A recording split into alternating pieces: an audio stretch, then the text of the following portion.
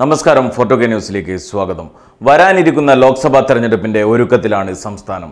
തെരഞ്ഞെടുപ്പ് ഒരുക്കങ്ങളും പ്രചാരണങ്ങളും ഒക്കെ ആദ്യമേ തുടങ്ങിക്കഴിഞ്ഞു. സംസ്ഥാനത്തെ ബി ജെ പി നേതൃത്വം ഏത് വിധേനയും വോട്ടുകൾ നേടാനുള്ള തത്രപ്പാടിലാണ്. ഇതിന്റെ ഭാഗമായി തെരഞ്ഞെടുപ്പിന് മുന്നോടിയായി ക്രൈസ്തവ സഭകളെ ഒപ്പം നിർത്താൻ വിപുലമായ പദ്ധതികളുമായി ബി ജെ പി രംഗത്ത് വന്നിരിക്കുകയാണ്. ഇതിനു മുന്നോടിയായി ബി ജെ പി നേതാവും മുൻ രാജ്യസഭ എം പിയും സിനിമാ നടനുമായ സുരേഷ് ഗോപി യാക്കോബായ സഭാ നേതൃത്വവുമായി കൂടിക്കാഴ്ച നടത്തി. യാക്കോബായ സഭ അധ്യക്ഷൻ ബസലിയസ് തോമസ് പ്രഥമൻ ബാവയെയാണ് സുരേഷ് ഗോപി കണ്ടത്. ബി ദേശീയ നേതൃത്വത്തിന്റെ നിർദ്ദേശപ്രകാരമായിരുന്നു കൂടിക്കാഴ്ച. യാക്കോബായ സഭ ആസ്ഥാനമായ എറണാകുളം പുത്തൻകുരിശി പാത്രിക സെന്ററിലെത്തിയാണ് ബസേലിയസ് തോമസ് പ്രഥമൻ ബാബയെ സുരേഷ് ഗോപി കണ്ടത്. യാക്കോബായ മെത്രോപൊലീത്ത ജോസഫ് മാർ ഗ്രിഗോറിയോസ് കുര്യാക്കോസ് മാർ തെയോഫിലോസ് എന്നിവരും ബാവയ്ക്കൊപ്പം ഉണ്ടായിരുന്നു അതേസമയം തോമസ് പ്രഥമൻ ബാവയുമായി സുരേഷ് ഗോപിക്ക് ദീർഘനാളായി സൗഹൃദമുണ്ട്. അത് പുതുക്കാനാണ് എത്തിയതെന്നും സഭാ തർക്കത്തിൽ കൂടുതൽ പ്രതികരണത്തിനില്ല എന്നും അദ്ദേഹം കൂട്ടിച്ചേർത്തു. യാക്കോബായ സഭാ അധ്യക്ഷൻ ബസലിയസ് തോമസ് പ്രഥമൻ കാത്തോലിക്ക ബാവയെ കണ്ട ശേഷം തിരുവാങ്കുളം ബിഷപ്പ് ഹൗസിലെത്തി മെത്രോപൊലീത്തൻ ട്രസ്റ്റി ജോസഫ് മാർ ഗ്രിഗോറിയോസിനെയും സുരേഷ് ഗോപി കണ്ടു.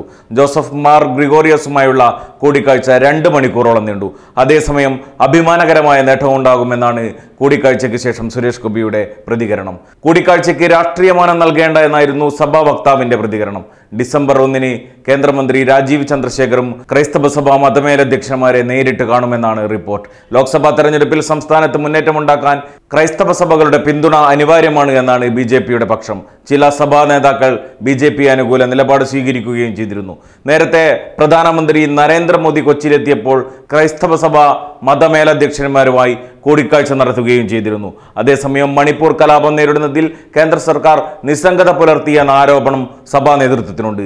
ഒരു വിഭാഗം ക്രൈസ്തവ സഭകൾ ഇതിൽ പ്രതിഷേധം കടുപ്പിക്കുന്നതിനിടെയാണ് നേതാക്കളുടെ നിർണായക കൂടിക്കാഴ്ചകൾ ബി ജെ പി ആസൂത്രണം ചെയ്യുന്നത്. ഏതെങ്കിലും ഒരു ന്യൂനപക്ഷ വിഭാഗത്തെ കൂടെ നിർത്തിയില്ലെങ്കിൽ അടുത്ത തവണ ബി ജെ പിക്ക് കേരളത്തിൽ കനത്ത തിരിച്ചടിയായിരിക്കും ഫലം എന്നുള്ളത് ഉറപ്പുള്ള കാര്യമാണ്. അതിനാൽ തന്നെയാണ് സുരേഷ് ഗോപി ഇത്തവണ ക്രൈസ്തവ വിഭാഗത്തെ കൂടെ നിർത്താനുള്ള പരിപാടികൾ ഇപ്പോഴേ ആസൂത്രണം ചെയ്യുന്നത്.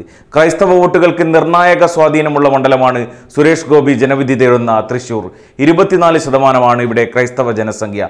ഇതിലാണ് ബി ജെ പി കണ്ണുവയ്ക്കുന്നതും. പക്ഷേ ക്രൈസ്തവ സഭാ നേതാക്കളെ പ്രീണിപ്പിക്കുന്നതിനപ്പുറം വിശ്വാസി സമൂഹത്തിന്റെ വിശ്വാസം പിടിച്ചുപറ്റാൻ ബി ജെ പിക്ക് എത്രമാത്രം സാധിക്കുമെന്നതാണ് ബി ജെ പി നേരിടുന്ന ഏറ്റവും വലിയ വെല്ലുവിളി.